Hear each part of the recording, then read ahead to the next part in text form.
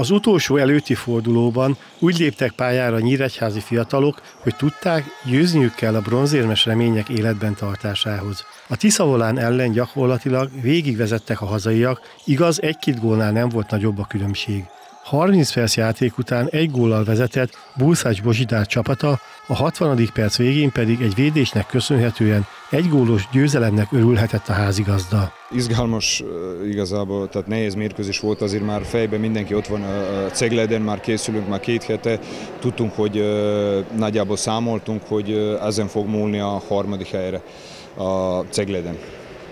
Úgyhogy úgy készültünk, hogy a a fiúk, a feladatok is úgy, tehát mint a Cegled ellen játszottunk, nyilván nem úgy sikerül, hogy akartunk, de ez is fontos, fontos győzelem, hogy a csoport érezen, hogy ilyen körülmények között is tud, tud előrelépni.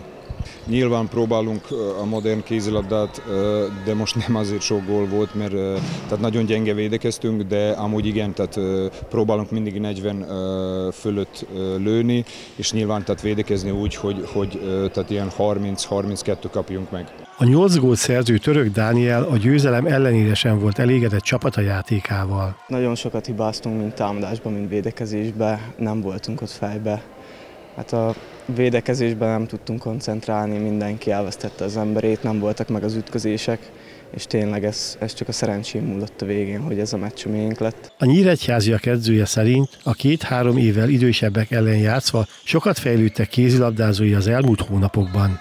Biztos vagyok benne, aki látta és követi minket, hogy, hogy nagyon sokat fejlődtünk, nagyon szorgalmasak a srácok, dolgoznak rendesen, és a, a, nyilván, amit annó is mondtam neked, hát tehát ők serdülő, aki a ifi bajnokságban játszik, és szerintem ez egy nagyon jó eredmény, amit elértünk a, a, a ifi bajnokságban. A csoport élén a Balmazújváros áll 35 ponttal, megelőzve a 34 pontos Dunakeszit. A harmadik Nyíregyházának és a negyedik Ceglédnek egyaránt 31 pontja van. A bronzérem sorsa a két csapat pénteki Ceglédi meccsén dől majd el.